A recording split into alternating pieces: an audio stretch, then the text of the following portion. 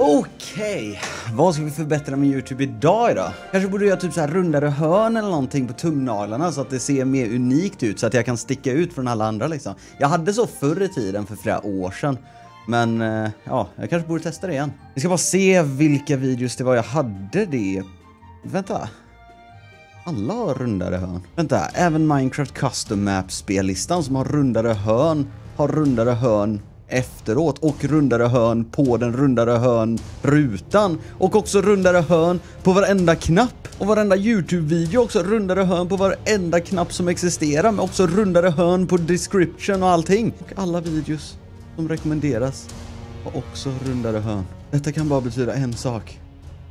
Det är att jag är inte unik längre.